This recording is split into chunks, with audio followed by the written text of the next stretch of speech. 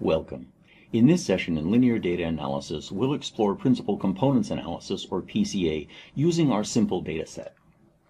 Let's recall what we mean by PCA and scores.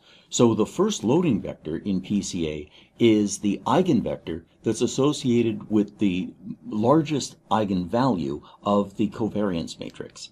And what this does, it effectively weights the ith zero mean observation by the numbers that are in the vector. So if we take the ith zero mean observation, which is uh, in our matrix M, that what we're doing is we're effectively calculating a weighted sum of these observations, and the weights are coming from the entries of this eigenvector. We'll call the score for the ith observation as z sub i. And we can compute all of these for component 1 at once by taking our zero mean matrix, multiplying it by the eigenvector, and or the, which is the principal loading vector, and that gives us the first score. So the first PCA component is the first column of the spectral decomposition, and that's the same as the first eigenvector of the um, covariance matrix. So it's important to remember all of these equalities is that the first column of the spectral decomposition and the first eigenvector are the same.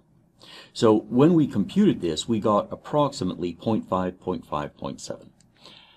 If we then take this and we then score the zero mean version of our data, this is what we get. And we see that three of these numbers are pretty close to zero, and one is significantly positive and one is significantly negative.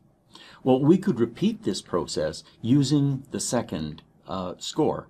And this would be using the second PCA component or second loading vector and the latent variable, which was the eigenvalue that in a previous session we found it might contain some variance, but we really weren't sure. So when we do the computation, what we see is that one number is close to zero, and then there are two numbers that are slightly positive and two numbers that are slightly negative. This is not nearly as compelling a pattern as we found in the first score. Let's try using MATLAB to plot these.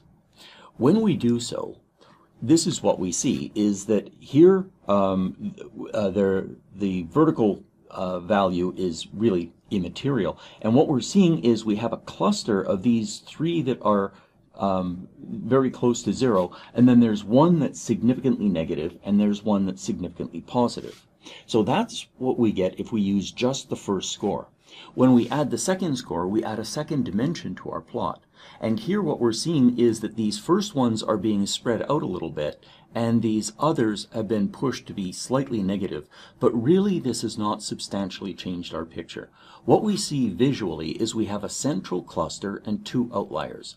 We can conclude that uh, based off of our numerical evidence and off of our visual confirmation that one dimension suffices uh, for an analyzing these data. So what that means is that we can just use a single score to capture most of the performance of these fictitious students. Now, let's recall linear regression and compare this to PCA. In linear regression, we were given some data, and these data the, in this case, the horizontal axis is our independent variable and the vertical axis is our dependent variable. When we do that regression, what we're doing is we're calculating, in effect, the vertical distance. And we're trying to minimize the sums of the squares of these vertical distances. That's how linear regression works. Graphically, what is PCA doing in two dimensions? Well, what we're now doing is we're saying that now the horizontal dimension and the vertical dimension, both of those are independent, okay? And so when we say that they're both independent, preferring one as a vertical error doesn't make sense. What we should really do is we should be calculating what's called the orthogonal error.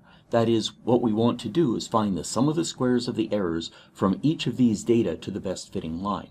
That is in effect what PCA is doing. This is not a new concept. All of this goes back to 1901 in a foundational paper by the great statistician mathematician Karl Pearson. This is one of the um, illustrations, one of the figures from his 1901 paper, and he's expressing exactly what we just went through. And he went further, is he noted that if we regress one variable against the, another, or we regress the other variable against the first, we'll get two different regression lines. And that PCA is effectively giving us this middle line, and here he's drawing an ellipse, and this ellipse has a major axis that is the first principal component we find from PCA, and then the minor axis of this ellipse is the second component that we find from PCA for these data. So, what have we learned in this lecture? Well, we're now able to find explain variance by using latent variables. We can find the principal component or components of our data. And we now understand how to compute scores of data using principal components analysis.